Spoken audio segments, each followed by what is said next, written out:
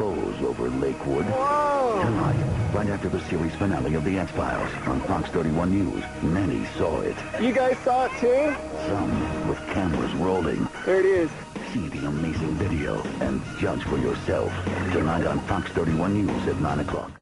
Thanks for staying with us on this Sunday night in the Rockies. I'm Ron Zappolo. And I'm Phil Keating. Dozens of people saw it, too, caught it on videotape, but no one's sure exactly what it is. Another unidentified flying object is seen hovering over Lakewood. As Fox 31's Kim Posey tells us, the witnesses are looking for answers.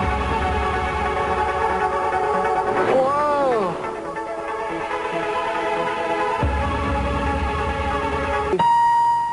There it is, there it is, there it is, there it is. You can hear the excitement and anxiety in Stan Romanek's voice as he videotapes this unidentified flying object. Whoa! An object he says he noticed after it spotlighted his car. That was September 30th last year at the old Stonehouse Park in Lakewood. What the hell is that thing? A park filled with people, the curious and the concerned. You guys saw it too? Yes, we did. we all saw it. Wow.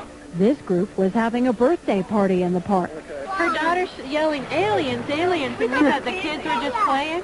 And then we looked up and I couldn't believe it. Jeez, I'm shaking like a leaf. Man, this thing was right in front of my car. I was chasing it down the road. This is what they couldn't believe. This is a second videotape.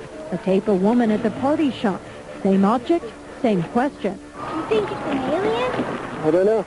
Numerous people reported seeing the object to the National UFO Reporting Center. Now the Mutual UFO Network is investigating. For me, on a scale of 1 to 10, this is a 13. George Zeiler is the deputy director of MUFON International, and he's heading up the investigation. He sent Stan's tape to several experts for analysis. It's not an airplane. Uh, it's not a helicopter. It's not a balloon. So what is it? George isn't sure, but he's got some ideas. My opinion is that these cannot be from this planet.